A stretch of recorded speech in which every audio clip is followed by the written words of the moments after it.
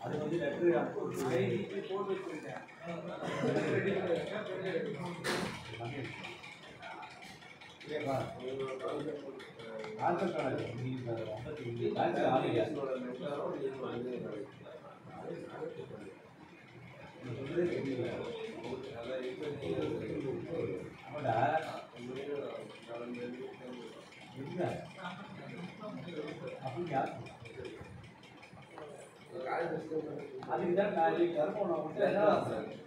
Letter எழுதுனா நான் அதுக்கப்புறம் அதில் சைனை போட்டு போய்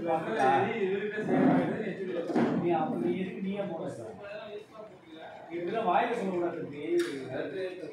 லெட்டர் எங்க எங்கிட்ட போகலாம் நீ ஏற்றி அனுப்பலாம். எங்கிட்ட வந்தனா நான் எடுத்துன்னு போய் அவர்கிட்ட காமிச்சு இது மாதிரி ஸ்ட்ரென்த் வந்து ஐம்பத்தொம்பது பேர் அதனால ஒருத்தன் சிங்கிள் அவுட் ஆகலாம் சார்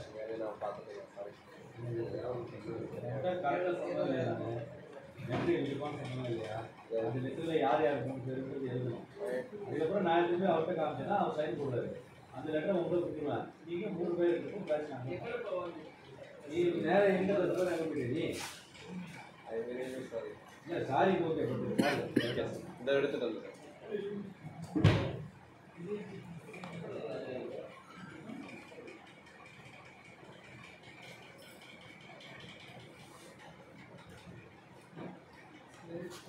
ஆண்கள்